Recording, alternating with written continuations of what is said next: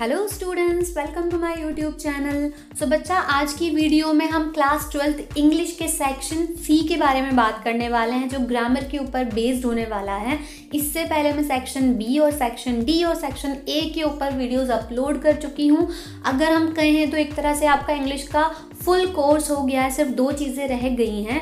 उसमें से एक होता है नोट मेकिंग और दूसरा आपका एक्सट्रैक्ट के ऊपर वीडियो जो मैं जल्दी लाने की कोशिश करूँगी। और आज की वीडियो में हम सेक्शन सी ग्रामर के बारे में फुल डिस्कशन करने वाले हैं। इस वीडियो में आपको मैं ये बताने वाली हूँ कि सेक्शन सी को अटेम्प्ट करने के लिए, उसमें फुल मार्क्स स्कोर करने के लिए आपको ग्रामर के कौन कौन से टॉपिक्स करने चाहिए, जिनमें से मैक्सिमम टाइम क्वेश्चन पूछे जाते हैं।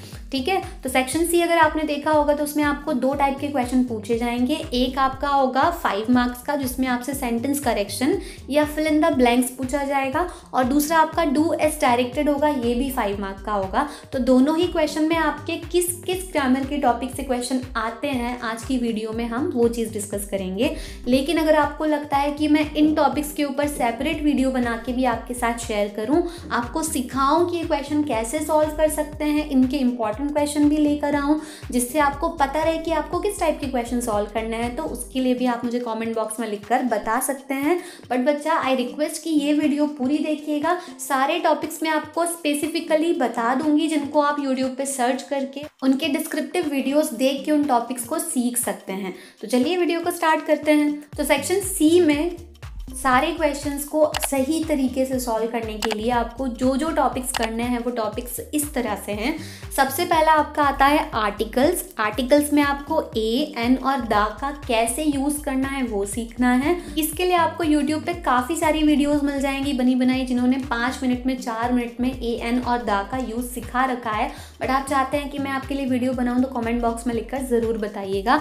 नेक्स्ट टॉपिक जो आपको प्रिपेयर करना है, वो है प्रिपोजिशंस प्रिपोजिशन ऐसे वर्ड्स होते हैं इंग्लिश में छोटे छोटे वर्ड्स जो किसी ऑब्जेक्ट की पोजीशन बताते हैं, ठीक है? प्रिपोजिशन में ढेर सारे प्रिपोजिशंस होते हैं इन हो गया एट हो गया, और ऑन हो गया ओवर हो गया अंडर हो गया अबव हो गया बिहाइंड हो गया, बहुत सारी हैं। आपको सिर्फ़ ये सारे वर्ड्स के मीनिंग समझने हैं और उनका यूज़ समझना है कि इनको किस किस तरीके से यूज़ किया जाता है और आपका प्रीपोजिशन वाला जो क्वेश्चन है वो बिल्कुल तैयार हो जाएगा।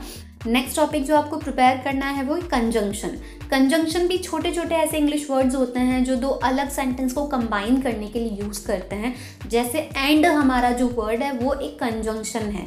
बिकॉज़ जो हो गया वो भी कंजंक्शन है. सो so जो हो गया वो भी कंजंक्शन है. तो ऐसे काफ़ी सारे कंजंक्शन होते हैं जिनको आपको यूज़ करना, सीखना है उनके मीनिंग के साथ और आपका कंजंक्शन भी फुल्ली प्रिपेयर हो जाएगा. सारे बहुत छोटे छोटे से टॉपिक्स है, ऐसा कुछ उसमें बड़ा नहीं है. आप आराम से एक दिन पूरा अगर करने बैठेंगे तो सारे टॉपिक्स आपके प्रिपेयर हो जाएँगे। नेक्स्ट जो आपका टॉपिक्स आता है वो है डिटर्मिनस डिटर्मिनस में आपको each every few many much ये सारे वर्ड्स का यूसेज सीखना है। कि इनको कहाँ कहाँ यूज़ किया जाता है। ये जो चार टॉपिक्स मैंने आपको अब तक बताए, बहुत छोटे छोटे से टॉपिक है, आप इनको आराम से सीख सकते हैं। अगर टाइम मिलता है तो मैं ट्राई करूँगी कि आपको इनके लिए भी सेपरेट वीडियो बता दूँ। बट उसके लिए आपको इस वीडियो को एंड तक देखना है चैनल को सपोर्ट करना है ताकि मैं मोटिवेट हूँ आपके लिए और वीडियोज़ बनाने के लिए। तो नेक्स्ट हमारा जो टॉपिक है, जो आपसे ग्रामर में बहुत ज़्यादा बार पूछा जाता है, ये मोस्ट इंपॉर्टेंट टॉपिक है। ये टॉपिक है आपके टेंसेज आपको बारह टेंस पूरे अच्छे से समझने हैं। कहाँ यूज़ होता है, किसमें कौन सी हेल्पिंग वर्ब यूज़ होती है, किसका क्या स्ट्रक्चर है। आपको टेंसेज आते होंगे तो आप सेंटेंस करेक्शन वाले क्वेश्चन कर लेंगे। आपको सेंटेंस दे दिया जाता है और पूछा जाता है कि इसका निगेटिव बनाइए या इंटरोगेटिव बनाइए तो आप ये वाले क्वेश्चन भी कर लेंगे।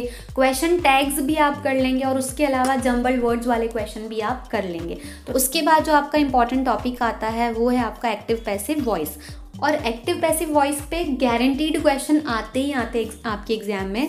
नेक्स्ट टॉपिक जिस पे गारंटीड क्वेश्चन आएगा, वो है आपका नरेशन या फिर जिसको आप इनडायरेक्ट और डायरेक्ट स्पीच के फॉर्म में भी जानते हैं। बच्चा, बस ये जो तीन टॉपिक हैं कौन कौन से आपके टेंस एक्टिव पैसिव वॉइस और नरेशन यही तीन टॉपिक थोड़े से कॉम्प्लेक्स जिन्हें सीखने में टाइम लगेगा बट आगे जो मैं बताऊँगी और उसके पहले जो मैंने बताए वो सारे टॉपिक आप आराम से कम टाइम में भी प्रिपेयर कर सकते हैं। तो अगला जो हमारा इंपॉर्टेंट टॉपिक है, जिसपे गारंटीड क्वेश्चन आता है, वो है आपका मॉडल्स मॉडल्स में आपको can could would may might ये सारे जो ऑक्सिलरी वर्ब्स होते हैं, इनके बारे में पढ़ना है।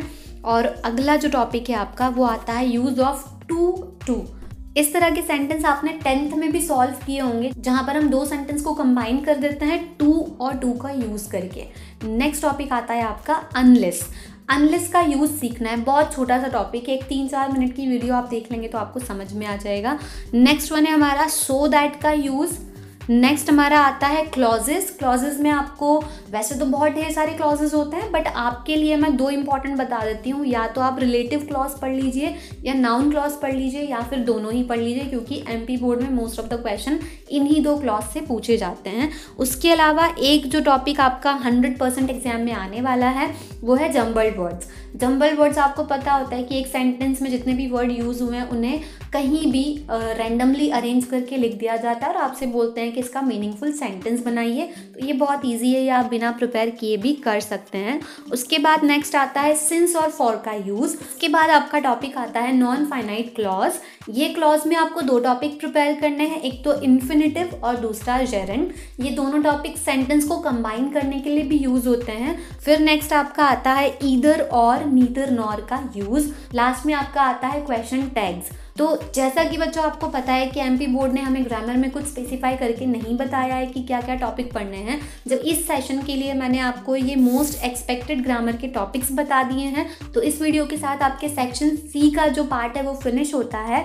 आई होप आपने वीडियो को एंड तक देखा है, आपको वीडियो पसंद आई होगी।